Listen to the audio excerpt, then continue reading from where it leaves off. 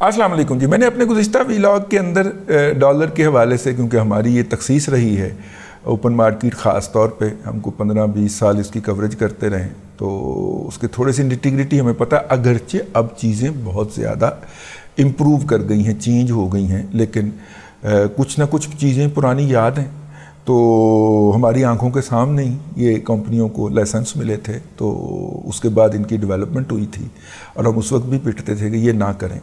और हमारा इलम क्या है? कंपनियों के मालकान से जो मुलाकात होती थी या उनके टॉप मैनेजर से जो मुलाकात होती थी, वो था हमारा मालूम का ज़रिया और हमने खुद को ट्रांजैक्शनें थोड़ी करनी होती थी। ट्रांजैक्शनें करते होते डॉलरों की तो हम इस हालत में आपके सामने बैठे व्लॉग कर रहे होते। तो मैं, खैर, अल्लाह आपका भला करे। सर, बात यह है कि आप किसी बड़े डिपार्टमेंटल स्टोर में जाते हैं, वहाँ पे एक बड़ा सारा बोर्ड लगा होता है। कि जहाँ मार्केट में ये सवा दो लीटर की पेप्सी जो है, या कोक जो है, या गुरा करने वाली मशीन, वो क्रीम जो है, गुरा करने वाली मशीन, गुरा करने वाली जो क्रीम है, ये मार्केट में आपको मिल रही है, फ़र्ज़ करें सौ रुपए की। इस डिपार्टमेंटल स्टोर में आपको मिलेगी अस्सी रुपए की। अच्छा अब ये मल्टीनेशनल है। इसकी कीमत के अंदर इतना फ़र्क कैसे हो सकता है? यार, आप बल्क में भी ख़रीद लें तो फ़र्क कैसे हो सकता ठीक है ना? सोचने वाली बात है ना? क्या ख्याल? मतलब बाज़ार के अंदर आपको कोक मिल रही है सवा दो लीटर वाली सौ रुपए की। आप एक डिपार्टमेंटल स्टोर में जाते हैं तो वहाँ पे आपको मिल रही है सत्तर रुपए की, पचहत्तर रुपए की। यार इतना फ़र्क कैसे हो सकता? आपने कभी सोचा? आपने नहीं सोचा? आपके हिस्से का मैंने सोचा। तो मैंने एक दो डिपार्टमेंटल स्टोर वाले दोस्तों से मतलब उनके साथ पहले यारी दोस्ती पैदा की, फिर उनसे पूछा, मैंने कहा, ये कैसे होता है? उसने कहा टैक्स चोरी. पाकिस्तान के अंदर रैकेट एंड बनेक सिर से लेके और ये फेयर एंड लवली बनाने वाला क्या नाम है उसका, लीवर ब्रदर्स वगैरह और कोक और पेप्सी, ये टैक्स चोरी करते हैं। उन्होंने कहा टैक्स चोरी के साथ साथ वो मनी लॉन्ड्रिंग भी करते हैं। ठीक है? मिल्क पैक जो है, वो आपको मार्केट के अंदर अगर दो सौ रुपये का मिल रहा है, एक लीटर और वो दुकानदार आपको दे रहा है एक सौ पचास रुपये का। तो पचास रुपये कैसे वो रायत कर सकता है यार? इतना मार्जिन नहीं होता। मैं आम दुकानदार से पूछूँ, मैं, मैंने कहा, यार, ये आप जो दो सौ रुपये का दे रहे हो मुझे, इसमें तुम्हारा मार्जिन कितना है? उसने कहा, जी, सात रुपये एक ने कहा, जी, वो दस रुपये मैं ज़्यादा ख़रीद लेता हूँ तो मुझे दस रुपये फ़ी डब्बे का। अगर वो कमीशन डिपार्टमेंटल स्टोर वाला फोर गो भी कर देता है तो फिर दो सौ रुपये वाला एक सौ नब्बे का मिलना चाहिए। वो एक सौ पचास का कैसे मिल रहा है? लॉजिक है ना? खाकसार ने स्टडी की इसके ऊपर आपके लिए, आपकी खिदमत में अर्ज़ करता हूँ। बुनियादी तौर पे इसके ऊपर टैक्स है, तकरीबन सेल टैक्स 18 परसेंट, सोलह परसेंट अठारह परसेंट लगा लें। ठीक है? और दूसरे खर्चे वर्चे डाल के 20 परसेंट कर लें। और 30 परसेंट एट एन एवरेज इन कंपनियों के अर्निंग के ऊपर, कमाई के ऊपर जो है, वो लगता है वो इनकम टैक्स ठीक हो गया। तो ये ले दे के कोई इम्पैक्ट जो होता है, इसका फाइनेंशियल इम्पैक्ट जो होता है, वो काफ़ी ऊपर चला जाता है। ठीक हो गया। अब ये कंपनियाँ क्या करती हैं? ये बड़ी, बड़े डिपार्टमेंटल स्टोर को अप्रोच करती हैं और उनको कहते हैं कि हम आपको जो सप्लाई देंगे, उसकी आप हमसे रसीद तलब नहीं करें कच्ची रसीद होगी, वो आपने कहीं पे सबमिट नहीं करना। ठीक है?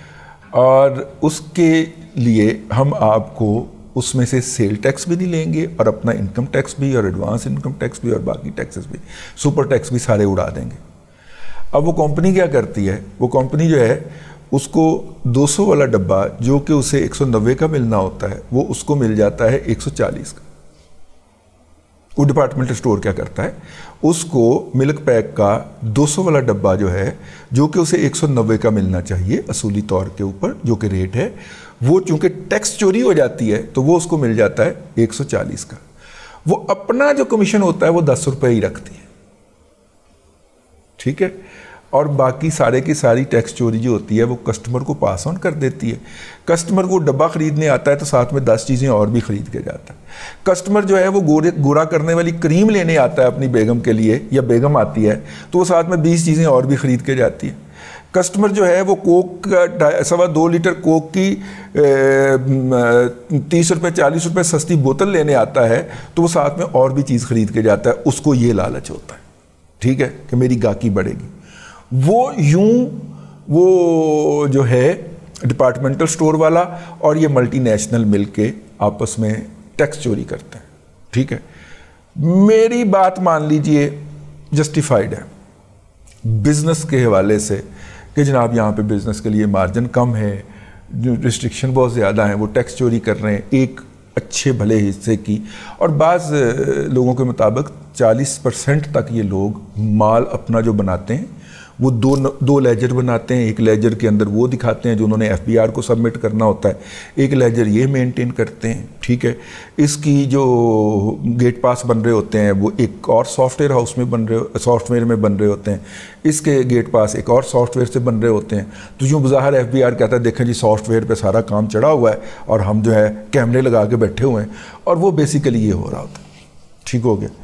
लेकिन ये जुर्म नहीं है। इस जुर्म को एक लम्हे के लिए माफ़ कर दीजिए। असल जुर्म ये है कि जब ये टैक्स चोरी का पैसा जो है वो कमाते हैं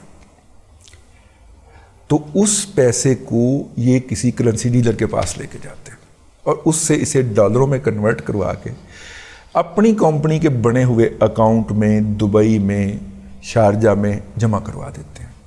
और आपके और मेरे मुल्क की ओपन मार्केट की करेंसी से डॉलर का पता ही नहीं चल रहा होता।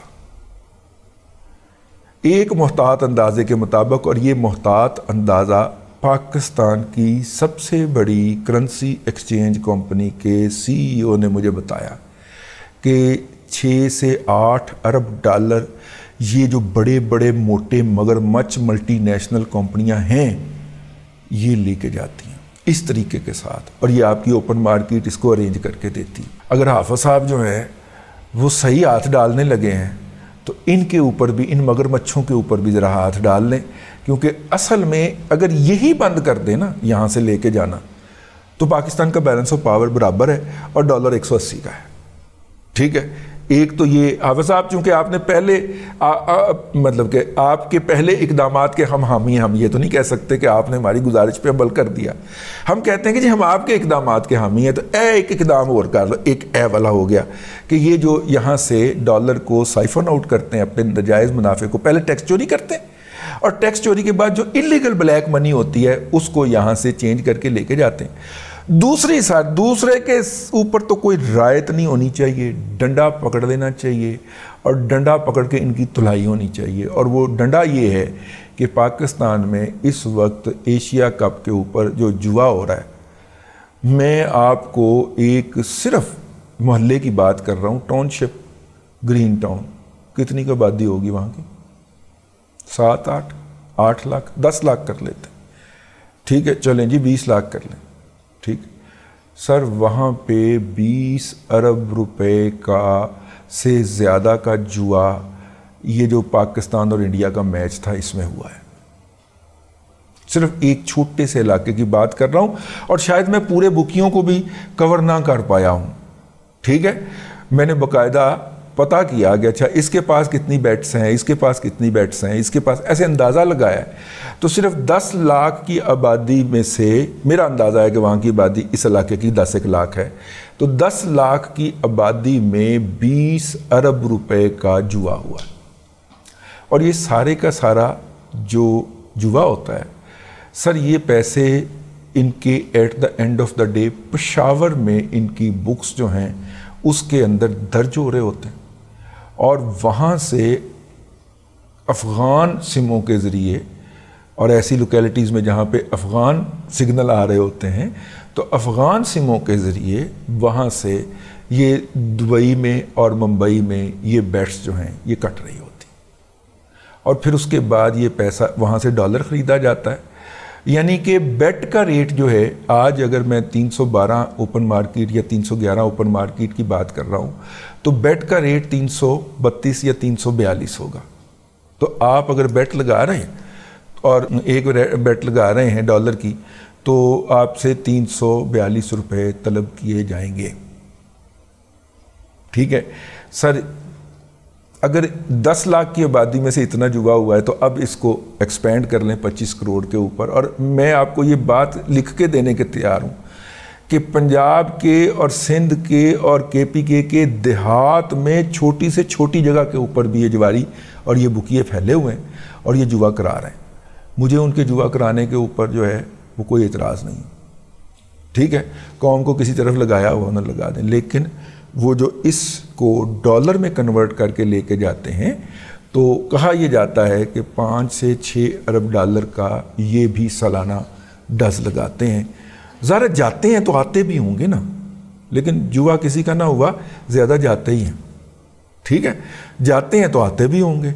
तो कुछ लोग अब यहाँ पे कुछ लाल बुजक्कड़ पे आ जाएँगे, मलक रियाज जैसे जो कहते हैं कि जुए की इजाज़त दे दे, पाकिस्तान के कर्जे उतर जाएँगे। इस तरह के जाहिल हैं इस मुल्क के अंदर, और उनको मीडिया कवरेज भी देता है, उनको मीडिया में मुआशी माहरीन के तौर पर बिठाया जाता है। लेकिन सर, ये दो एलिमेंट्स जो हैं, ये आपकी नज़र से ओझल हो गए। तो मैंने कहा कि मैं फफे कुटनी का किरदार अदा करूँ, और आपकी नज़र इसकी तरफ़ भी डलवा दूँ। एक ये जुएबाज जो है सर ठीक है? एक दो तो मैं भी आपको निशानदेही कर सकता हूँ कि वो वो देखो। एक आते नासवी के अखबार मेरे पिछले मैंने वी, पिछले वीलॉग जो किए थे उसके बाद वो ख़ानदान समेत ही पाकिस्तान से भाग गया। तो एक आध और काबू करवा सकता हूँ सर आपके। और बाकी तो आपके पास हमसे ज़्यादा इन्फॉर्मेशन होती है। आपको तो ये भी पता था कि जो सामने बैठे आपके, जो आपको इकॉनमी के ऊपर मशवरे दे रहे हैं, इनके घरों के अंदर कितने कितने डॉलर छुपाए गए हुए हैं? आपको तो ये भी पता था। हमें तो आपके को जो पेश की गई है रिपोर्ट उसकी एक झलकी कराई गई कि जनाब है देखो, साहब नुआ रिपोर्ट गई है। ठीक है? तो अब जनाब, ये जो है, ये थोड़ा सा इसके ऊपर, सर, गौर फरमा लीजिए, ये दो कल्प्रेट्स जो हैं इनको अगर आप पकड़ लेंगे तो पाकिस्तान के अंदर डॉलरों की लहरें बहरें हो जाएँगी। कोई मसला ही नहीं है। हमारे हाँ जो आता है, जो हमारे एक्सपेट्रिएट पाकिस्तानी इलीगल तरीके से डॉलर भेजते हैं, हम उसको नेट कर लें तो हमारे पास 1994 के अंदर जब ये फिनोमिना शुरू हुआ था सर, मैं उस वक्त की बात कर रहा हूँ कि पाकिस्तान में उस वक्त 30 अरब डॉलर के करीब कहा जाता है कि इलीगल तरीके से आ और जा रहा था। अब तो सर, उससे बहुत ज़्यादा माहौल आगे चला गया तीन दहाइयाँ गुजर गई हैं उससे अब तो ये कई गुना ज़्यादा हो गया होगा। ठीक है, हमें वैसे बाई द वे शॉर्टफॉल का सामना है तकरीबन कोई आठ से दस अरब डॉलर का। ठीक है तो जुआरी और मल्टीनेशनल सर, ये दो सामने बैठे हुए हैं आपके, ये दोनों कल्परेट सामने बैठे हुए दोनों मुजरम सामने बैठे हुए हैं और ऑपरेट दोनों करते हैं करेंसी डीलर्स के ज़रिए। और इन करेंसी डीलर का नाटका बंद कीजिए, इनको बैंकों पे लेके आइए और उससे पहले, आखिरी बात, उन बैंकों के खिलाफ एक्शन लेने का ऐलान कीजिए स्टेट बैंक को इन, इनके लाइसेंस जो हैं वो सस्पेंड करे या इनको ठोक के कोई अरबों रुपए का फाइन करे जिन्होंने इंटर बैंक मार्केट के अंदर मैनुपुलेशन की है। वो जो भी हो सर वो जो भी हो सर उसके खिलाफ एक्शन एक दफ़ा एक बैंक को इबरत का निशान बना दीजिए। आई आई चंद्रीगढ़ रोड के ऊपर बैठे हुए गर्दनों के सदियों वाले लोग जो हैं वो सीधे तीर हो जाएँगे। अब तक के लिए इतना ही। अगले व्लाग के अंदर फिर हाज़िरी होगी। अल्लाह तबारक व आपको आसानियाँ अता करे और आसानियाँ खल के खुदा में तकसीम करने की तोफ़ी अता करे।